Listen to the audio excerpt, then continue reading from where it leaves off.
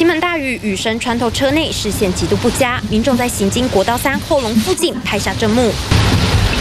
前方黑色轿车整个逆向停在车道上，就是因为大雨车子打滑才会失控。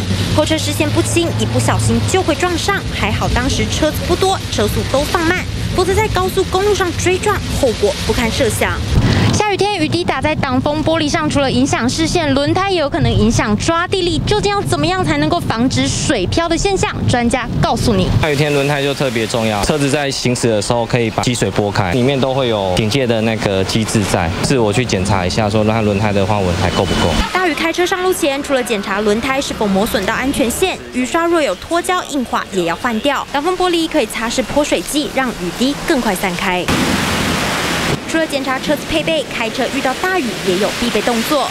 专家建议一定要开大灯，雨势过大，视线剩一到两个车身的距离要加闪双黄灯，提高用路人注意。至于后雾灯，多适用在下雪的国家，国内不建议使用，以免影响别人视力，出现反效果。下雨天除了视线受影响，路面湿滑更要放慢车速。